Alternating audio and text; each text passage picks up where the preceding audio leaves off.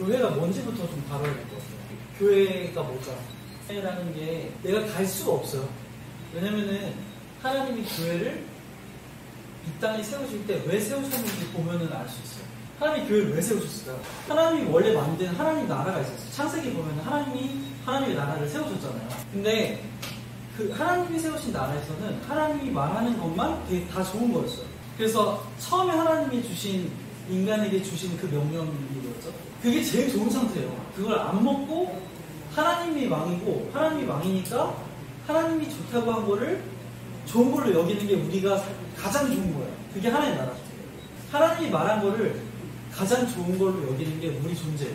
그래서 우리가 고민하지 않아도 됐어요. 원래 이게 좋은 건가 저게 좋은 건가 이 고민을 우리가 하는 게 아니었어요. 하나님이 그거를 하나님만 아니까 하나님이 말씀하신 대로 우리는 따라가면 되는 거예요. 근데 뱀이 나타나서 유혹을 한 거죠. 그 뱀의 말을 들어, 듣고 보니까 고민하기 시작했어요. 뭐냐면은 뱀이 이걸 먹으면 너네 하나님처럼 될 수 있다는 거예요. 그걸 듣고 보니까 이걸 안 먹고 기다리는 것보다 내가 이걸 먹고 하나님처럼 되는 게 더 좋게 느껴지는 거예요. 이게 죄예요. 그걸 먹었기 때문에 죄가 아니라 이 고민을 한 시작부터 죄예요.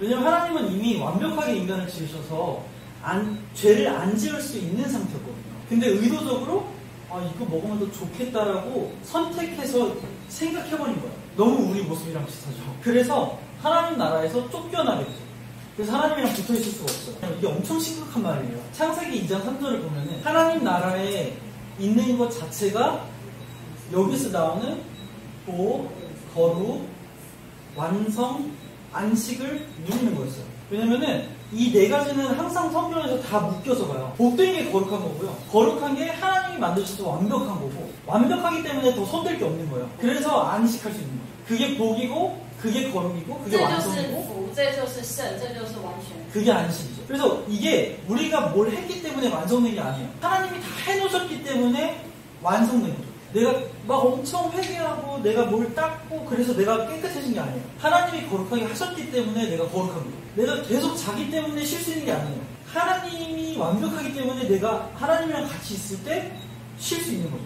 그래서 하나님 나라에서 쫓겨났다는 건 뭐냐면은 이 모든 것들을 전혀 1도 누릴 수 없다는 거예요. 그래서 성경은 그거를 죽음이라고 말하는 거죠. 너무 간단한 문제예요.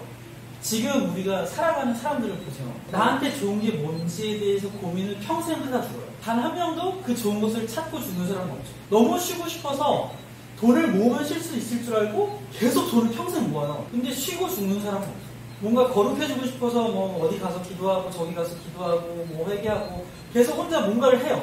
근데 이룰 수 있는 사람 아무도 왜냐면 하나님이랑 분리됐기 때문에 하나님은 그거를 회복하고자 성경 전체에서 내가 너네를 어떻게 회복했고 어떻게 이뤘고 너네가 뭐가 됐어 이렇게 말하고 있는 거예요. 그래서 약속을 계속 주셨고 그게 구약이에요.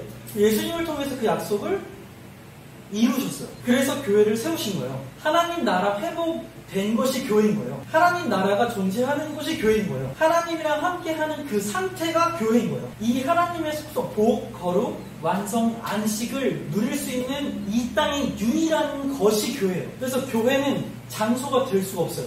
내가 가는 곳이 아니에요. 이 상태가 된 사람들이 교회예요. 다시 말하면 뭐냐면은 교회가 아닌 사람들이 이런 상태의 하나님 나라를 살아가고 있는 이 사람들을 보면 유일하게 천국을 볼 수 있어야 돼요. 이 땅에 있는 사람들이 천국을 조금이라도 맛볼 수 있는 유일한 방법은 교회예요. 다시 말하면 우리가 모였을 때 우리가 서로 사랑하는 것을 통해서 천국이 드러나는 거죠.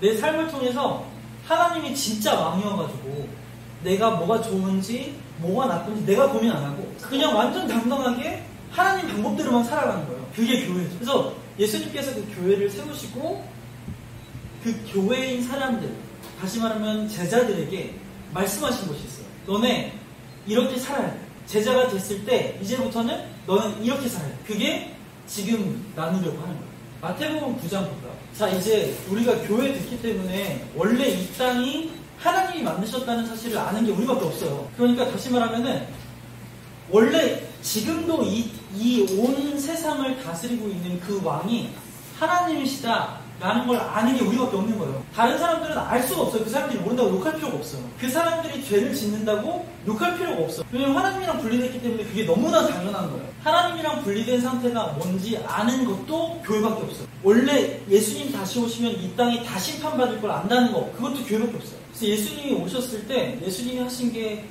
뭐였어? 뭐였죠? 제일 먼저 했던 거는 구약의 약속들이 이루어졌다라는 걸 알려주기 위해서 엄청나게 다 보여주셨어요. 그게 뭐였냐면은 하나님 나라가 이 땅에 임하면 하나님 나라가 임하면 이루어지는 일들이 이거야 라고 보여주신 거죠. 심판이 올 거고 병든 자가 치유될 거고 귀신이 쫓겨날 거고 하나님 나라의 회복을 계속 말해요.